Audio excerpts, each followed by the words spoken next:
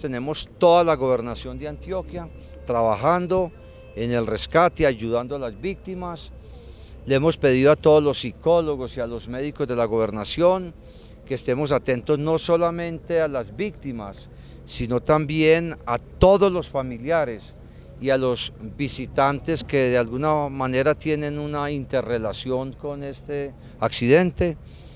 Están llegando dirigentes deportivos de toda América Latina, están llegando los familiares.